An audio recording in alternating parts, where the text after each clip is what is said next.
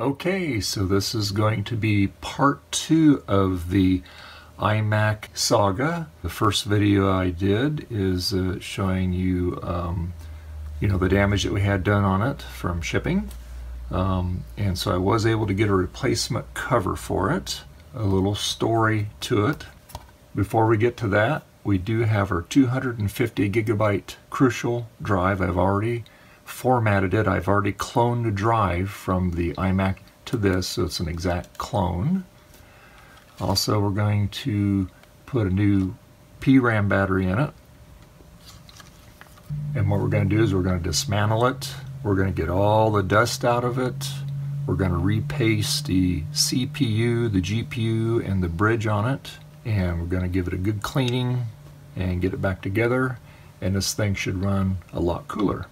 It took me about uh, three hours to uh, do a clone on this disk. I mean, it's, you know, USB 2, it's pretty slow. But we got it done. But anyway, getting back to the cover, uh, this is actually from a 2006 iMac. And the G5 iSight that wasn't around very long then Apple migrated to the Intel processors and they use the same case. However the bottom differs on it. And I'm going to try to show you here. Now I do apologize for the camera angle. This was all going to be all overhead but my video mirroring cable that I use uh, keeps coming up with a QR code. I did all the updates on it and it still does that. So obviously I'm not getting the right update for it. So I cannot use my monitor and I really wanted to, because I had an overhead mount all fixed up for this so we could do this. I'm going to do this as best I can here. So this is off the 2006 cover, this one here that we're that we've worked on. And you see the what the big difference is is the RAM door on the bottom. Now this here is basically just sticky taped on the inside of this case here. And I'm going to show you here. I'm just trying to be real careful here. So this is all this is all metal and this is all double-sided tape down to the plastic cover. So it was a very painful project to get this off of the cover without damaging it, which I took a heat gun on low setting, softened up the glue. I took like a credit card at the beginning, and once I got it started done, I had a really big uh, special uh, drywall putty knife, and just very painfully, as I heated it, not to damage the plastic, it relaxed the glue, and I was able to take it off the 2006 cover. And then I was able to take the original one that I got that was broken. This is the one that was busted up here. This is the one off of the uh, iMac uh, G5 here. I'll hold this out here. Like I said, it's and see I, that's what it looks like with that uh, metal bracket out of it. So now you'll see the difference in the door here. You see right here? That's all different. Same bracket basically. It's just laid out a little differently. Uh, the whole arrangement is a, a, little different in a couple spots, but we can work with that. That's not a problem. That's not going to affect the operation of it. But you can see the difference here. It's the exact same cover, just this here is, is different, okay? And you look at this one here, and you see it's different. They have those big loops that you grab a hold of and it pulls out the RAM sticks. So yeah, so we've almost got this all polished up. Um, we first, because this replacement cover did have a lot of scratches on it, that was not acceptable to me because I wanted to look nice. Because like I said, the one that I got for this, the iMac G5 cover, it was in beautiful shape other than the fact it was all busted up. So what we what you do, this is actually, uh, as a note, this is actually a acrylic case. And the interesting thing is, is the inside of this, they have a laminated plastic on it.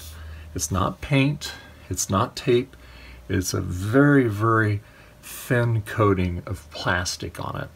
probably not even a millimeter. I mean, it's even thinner than that.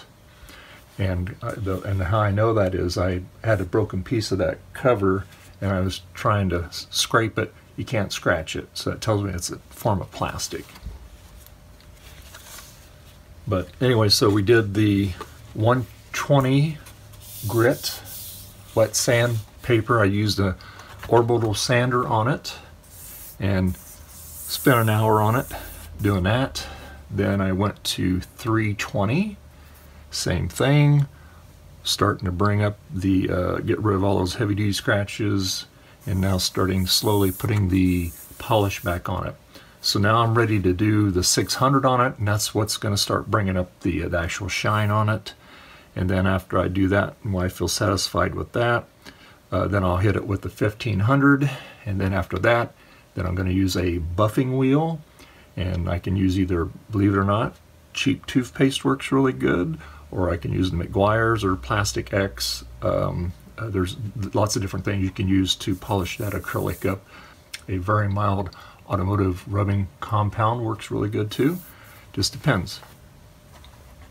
And the reason why I know this is acrylic is because the way that's broken. Acrylic has a, an interesting way of fracturing when it gets broken. Uh, it, just, it is a little flexible, but it has its limitations. And polishing it, you got to be careful because you don't want to put too much force on. That's why I got it on the towel here. It doesn't want to walk on the hard wood here.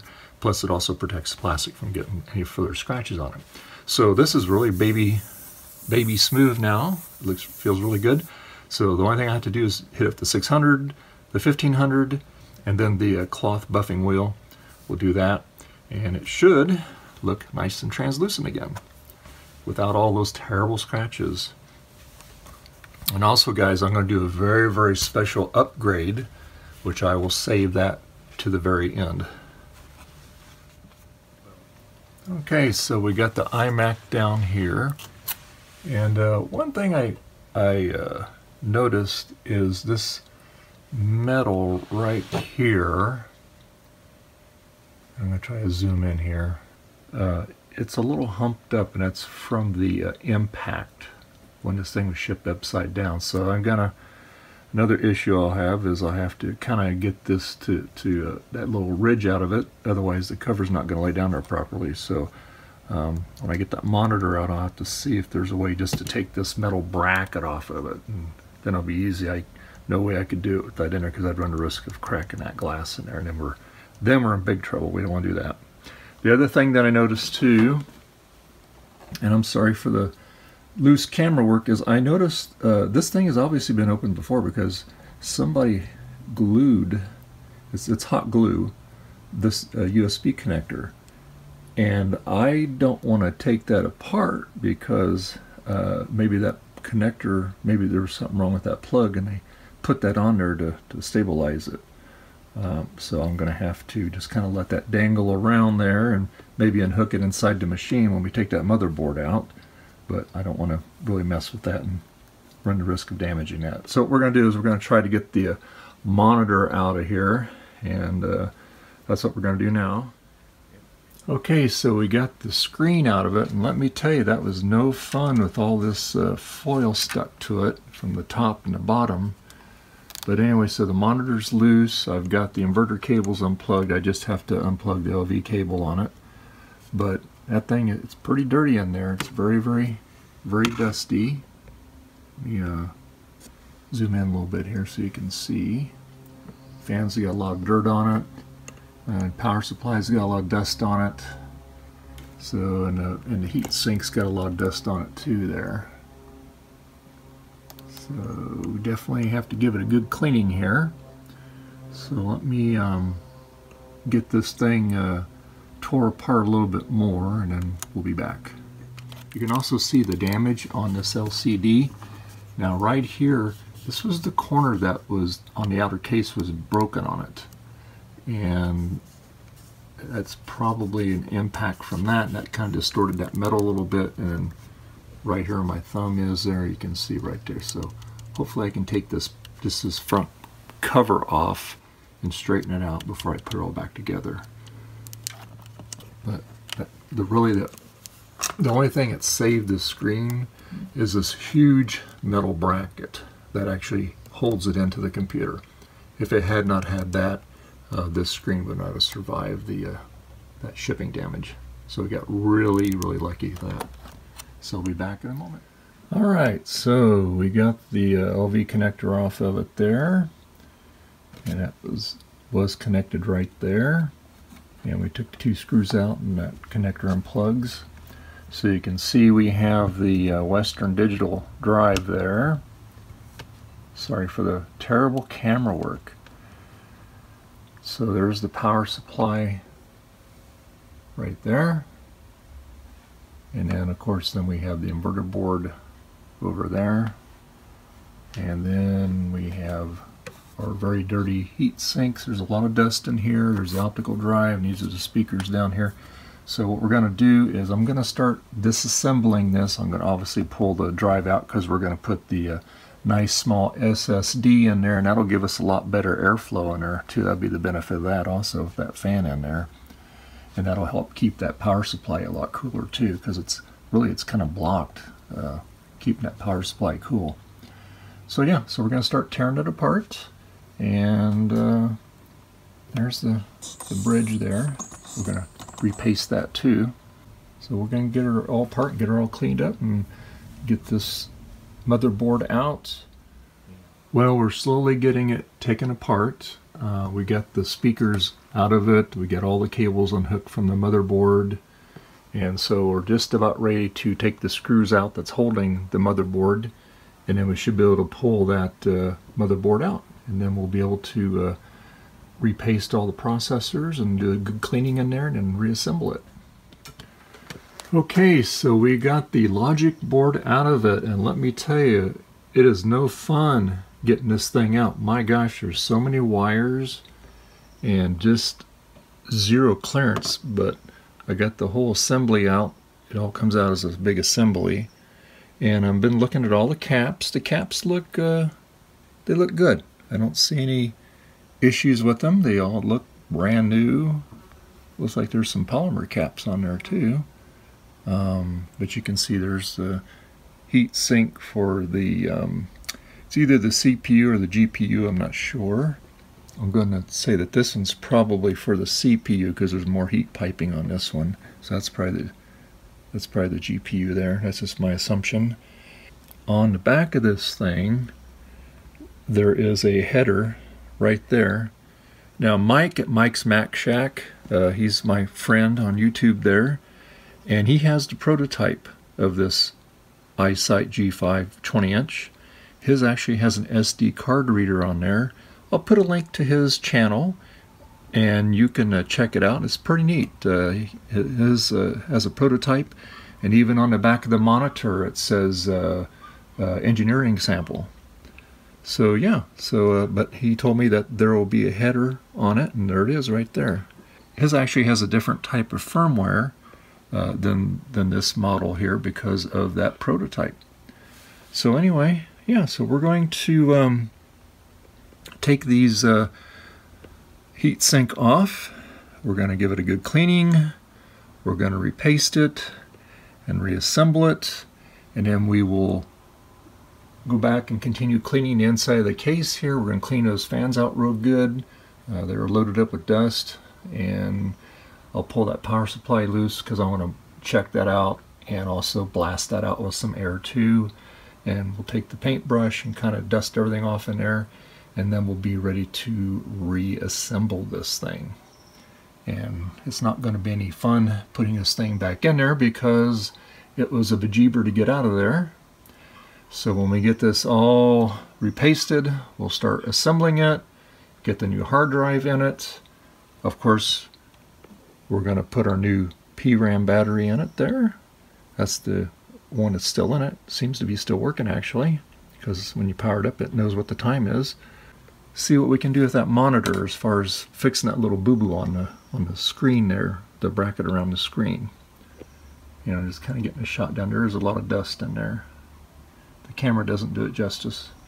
But anyway, alright guys, we will be back in a minute.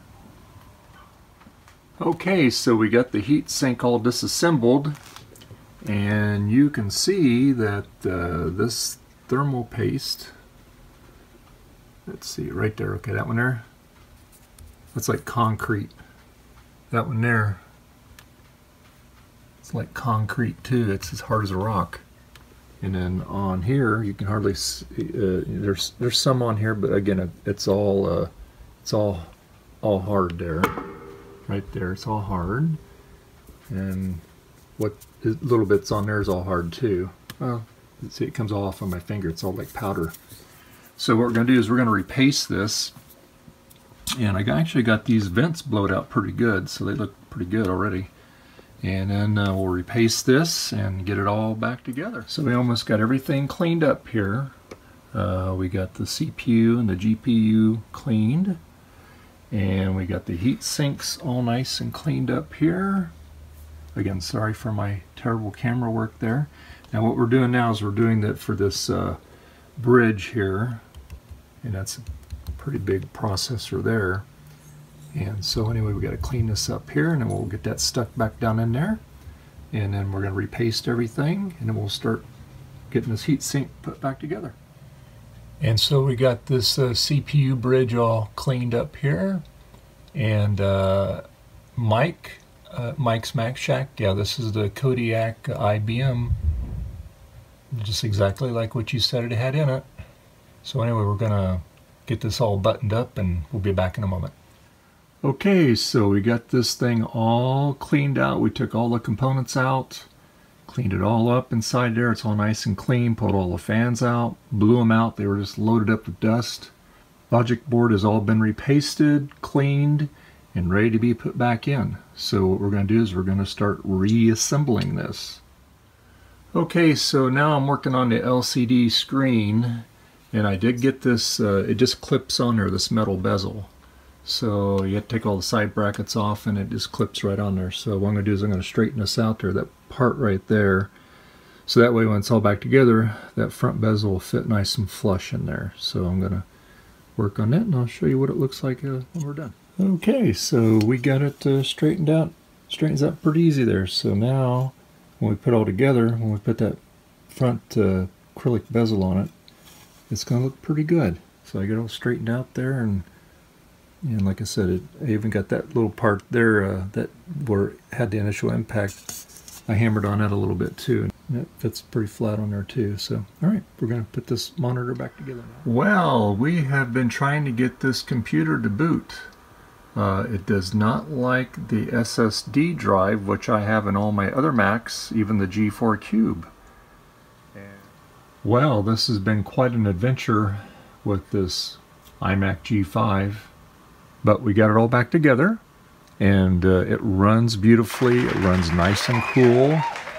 We repasted the CPU, we repasted the GPU, and then this bridge here. Now this does get quite warm, but that's just the nature of the beast there.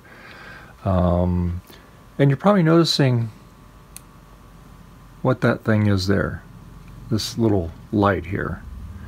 Well, that is the special mod that we're going to be doing. So we're going to add this to the uh, back of the Apple logo. We're going to light that up and it'll look really nice. Um, about really the only thing we have to do is I just need to finalize the wiring right here. This is actually the coming off the power supply going into the computer. And this black lead goes to the black wire. That's common. And then this red wire is actually going to the uh, blue wire. Uh, I did have it on the purple wire. The purple wire is 5 volts, but it's on all the time. So the blue wire is, is switched on during power up. That's what we wanted. So that way when we turn the computer off, that light will go off. And what we're going to do, so this foil part gets put back on here. This hole here is for the infrared port. So there'll be just enough room to actually have this coming through there. So it's going to be like this. So it'll be there, and that light's going to be up in there. There's just enough room for that to fit beside that little infrared port there. And then when we get that all buttoned up, Then all there is left to do is polish up the front of the case and we'll put the high gloss polish back on it. Uh, right now it's a nice frosty look, but we'll do the high gloss polish on it and it'll look like an ice cube again. It'll be nice and clear again. So, uh, and then when that light shines through it, it's actually going to kind of radiate to that acrylic on the front here too. So to make nice, ought to make like a nice uh, effect for it there. So yeah, so we're going to get that going here in just a minute. Now what I had to do, as you know, when before I tore this thing apart, I cloned the hard drive from this thing onto a Crucial 250 gigabyte drive and I've used Crucial drives in all my uh, G4s, G3 Macs, no problem. But this did not like it. I tried formatting it three or four times, three or four different ways. Even took and cloned the drive off my cube and put in there. And the issue was, is this thing would, this thing would never see it. Would never see the drive. You could put the uh, install disk in here, go to disk utility, and have it search it, and it never showed up. So what I did is I took the hard drive out of my Franken Mac. It's a 250 gigabyte Samsung drive, and I just put it in there. Same thing. I put the Tiger install disk in there, and uh, lo and behold, it found it. So I reformatted it. I installed Tiger, did all the updates on it. Then I took and I put Leopard on it and upgraded it to Leopard, and all the with all the updates and everything on it. And what I'm going to do is I'm going to take a lot of those apps off of that other hard drive that was in here originally, that spinner drive, because there's a lot of cool stuff on there. And I just could have just recloned that drive to that Samsung drive, but I got to thinking about it. I go, you know, let's just do a total clean install, and that way we can modify it however we want to do it. So that's what I did. And this, like I said, this thing runs really cool. You, you, can't even hear it run now. Before that thing, the fans would ramp up. Um, as you know, as you saw previously, there was a lot of dust in here. The fans were coated with dust. Uh, we repasted everything. All the thermal paste was all petrified on it. All it was all it was totally hard. It wouldn't. It wasn't nothing soft about it anymore. So yeah, and I even pulled the uh, RAM out of it because uh, that even had a bunch of junk on it. But I mean, this thing is clean as a whistle on the inside. Between the compressed air, going over with a, a soft sable brush to get all the stuff off of it, uh, it's it's fantastic. And I just pretty much disassembled the whole thing so I could get in there and clean it. We pulled the optical drive out, of course, the motherboard, the speakers, everything you needed to get to. Then I was able to fix. So this from when uh, got shipped got damaged, this metal bezel, and as I showed you in the video, I took it apart and I took this and laid it face down on a concrete and took the hammer and just slightly tapped it and flattened it back out and reassembled it back on the screen. So now when we put the plastic front cover on it, it should lay nice and flush on there. And got some of the dings out of the top of it there, but it was just it was just all cosmetic. This is a real thin piece of steel clips on the outside of the actual LCD display there. Like I said, we got iSight camera there. So when we get ready to put the front case on it, we'll put the iSight camera back on there, we'll reattach it. So what we're going to do is we're going to uh, tidy up the electrical on this here. And it's just uh, temporarily kind of stuck in there. And what I'm going to do is I'm going to make a little nicer connector to go on there. And then we'll uh, put maybe like a little silicone over that just to protect it or, or a little shrink wrap to, to, to dress that up. Then when I get that done, then I'm going to put that front panel back on it.